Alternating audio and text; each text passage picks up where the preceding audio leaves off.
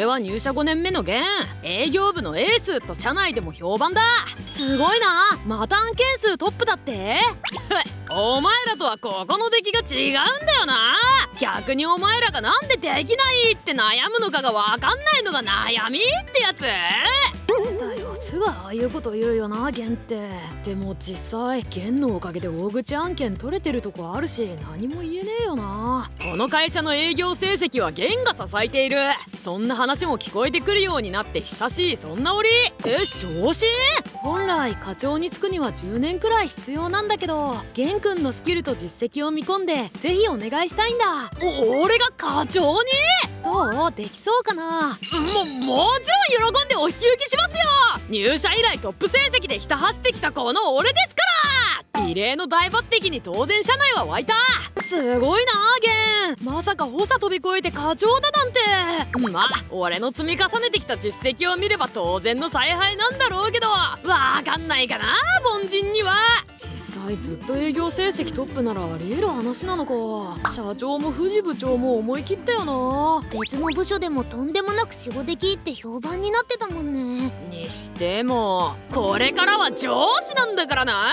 社内ではちゃんと敬語使えよな剣のあれはますます悪化しそうなのかな。うーん上司としての働きに期待したいけどそして新体制になった新年度から課長職となった俺はますます気合を入れて働くようになった。俺経理これは人事部に回しといて。お電話変わりました。成田の源です。この度営業2課の課長職として。あのケンさん。こちらのご提案資料のチェックをお願いしたいんですが。どれちょっと見せて。ああこんなんじゃダメでしょ。先方納得できないよ。プランニングはいいとしてもっとこう言葉選びもガツンと決まる感じにした方がいいし。このグラフもドーンと見せないとわかる？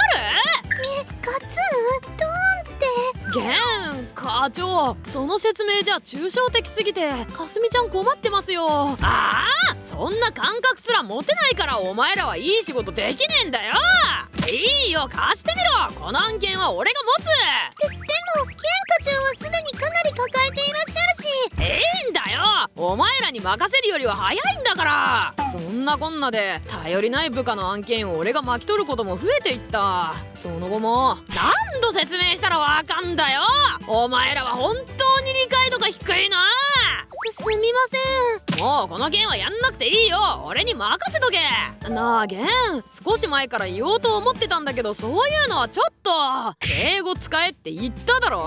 なんか意見しようってのか無能の平が。たっくよ確かに現課長にお任せした方が色々と早いのかもしれませんが俺たちにも仕事を振ってくれないと部内全体の効率や空気感が効率空気？できてねえから俺がやってんだろ！仕事を振ってほしいなら見合った実力を示してからにしてくれよな！たどいつもこいつも使えねえやつばっかりだ。ここは俺が頑張んねえとな。必然的に俺の残業は増えタスクが集中するようになったが残業することで消化はできたし仕事の上では問題ないように思えた。かしそんな日々が続くとどうせ時間かけたって現課長が全部やり直すんだし。そうだよな。意味ないよなこんなの。次第に俺は部内でも孤立するようになっていった。はエリートなんてもともと孤高の存在。俺には俺の無能にはわからない仕事のやり方がある。大丈夫。仕事は問題なく回ってる。俺さえ休まずに働けば。そして1ヶ月が過ぎた。営業部の業績が悪化特にうちの課の営業成績悪化が響いてるらしいね。やっぱりほぼ課長一人でやるには無理があるんじゃ。ねえ今のやり方じゃすぐに限界が来るよ。今からでも仕事の割り振りとか見直して。協力するって言みんなちゃんと俺の言うこと理解して実践してくれよ。どうして？なんでなんだ？理解もできないくせに好き勝手ばっか言いやがって。なあ聞いたぞ。二課の新課長の話。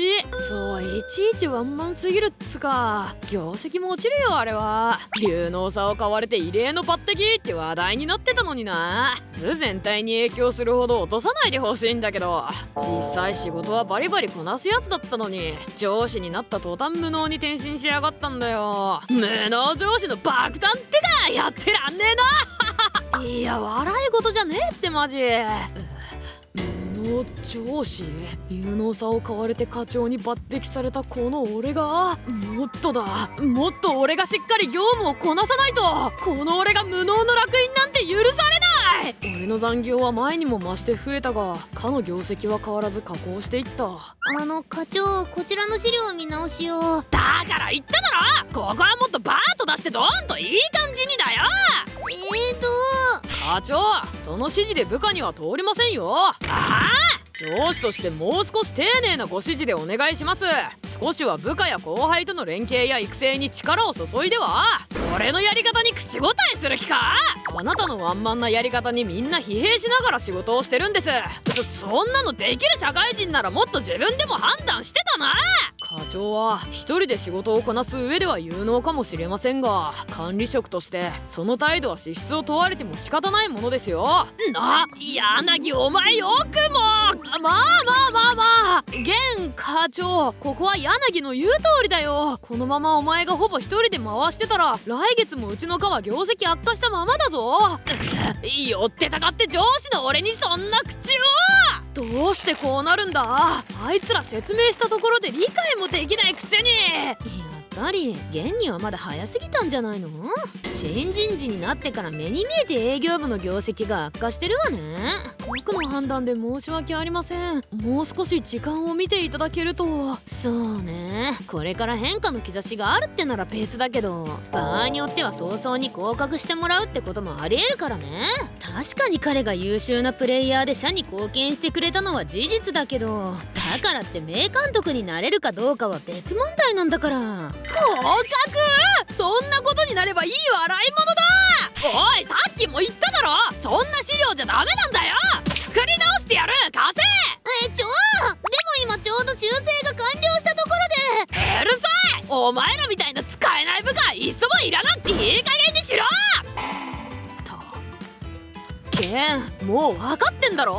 上から目線だけでバカにしても部下はついてこない。お前の今の仕事は選手じゃない。監督なんだ。育てることなんだよ。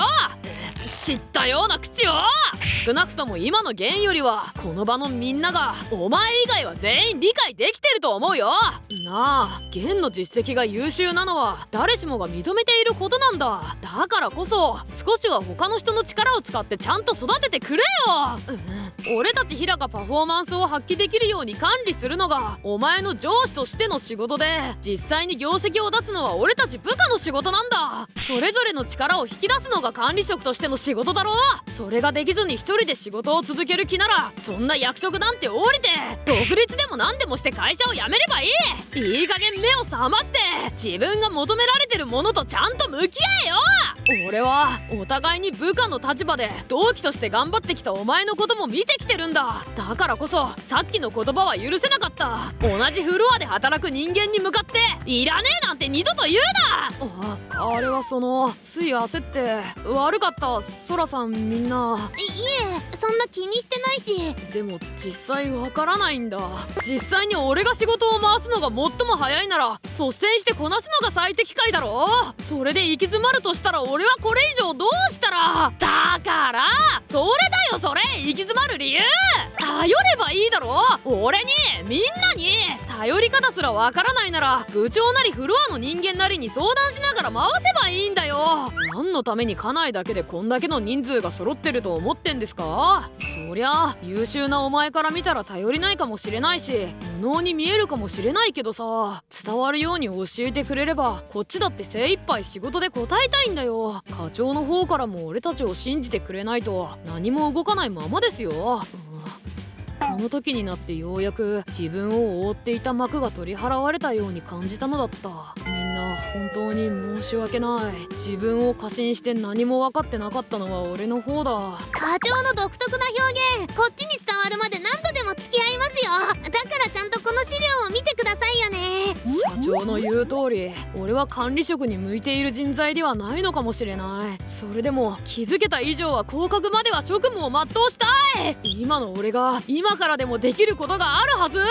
その後の俺は目に見えて変わったと思う。俺は近々降格すると思うが指を加えて業績悪化を見ているわけにはいかない。今更かもしれないがみんなの力を貸してほしいんだ。もちろんですよ。とりあえず課長が今抱えてる案件の割り振り決めましょうね。抱えすぎです。そもそも弦は擬音多すぎなんだよ。客先での受けはいいかもしれないけど指導には向かないだろう。そそうか。あじゃあここをもっと拡大しつつ暖色系で。そうそう。まずはちゃんと明晰に言語化してくれれば。よかった。僕が介入するまでもなく自分たちで解決できたならきっといいチームが作れるな。あお疲れ様です社長。ミカの件ですが。はい。はい。少し風向きが変わったので彼玄君は大丈夫ですよ。今後業績はちゃんと回復すると思います。私が責任をええもちろんです。その後営業部の成績は俺たちのニカが引き上げる形で V 字回復を果たしやるじゃない。今後も期待してるわよ。人事は据え置きにするからチームの力で頑張ってね。よし今度は俺がトップ成績狙いますよ。負けてられないな。俺だって最近乗ってんだよ。おっとダークホーストラさん忘れてもらっちゃ困るよ。俺が課長でいられるのもみんなが協力して頑張ってくれたおかげだ。感謝も込めて今夜は飲みに行っか。えー、ゲントこれやったー。あちょお前ら同期は金出せよ。後輩たちの分は俺が出してやるから。えー、ケチ。その後俺たちの課は順調に成長を続け社内外でも理想的な仕事環境のモデルとして認められるようになったのだった。